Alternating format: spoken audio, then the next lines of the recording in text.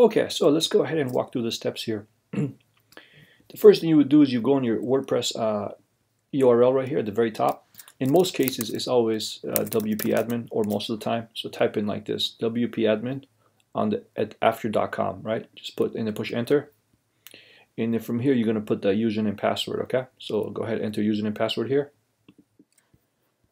Once you log into the back end of your website, the first thing you'll do is you'll go under plugins right here and then press add new plugin.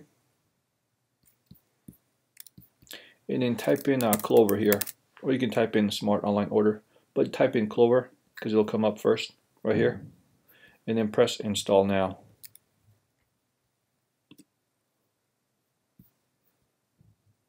Oh sorry give it a second here. Somehow it's still loading.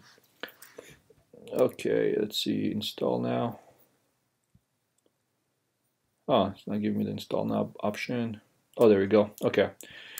Probably was just a little slow today, but there we go. It's installing now. And then once it's installed, um, you're going to press activate right here. Activate. Okay, give it a few seconds again.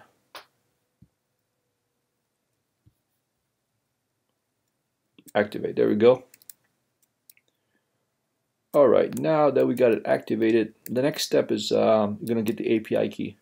So I already have the API key, but in your case, um, if you're watching the video for the first time, you'll go to clover.com and uh, get the API key from there.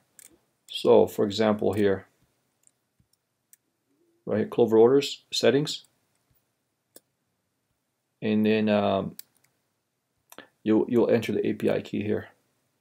Okay, so how do you get the API key? Just click on this link, you'll get it from there.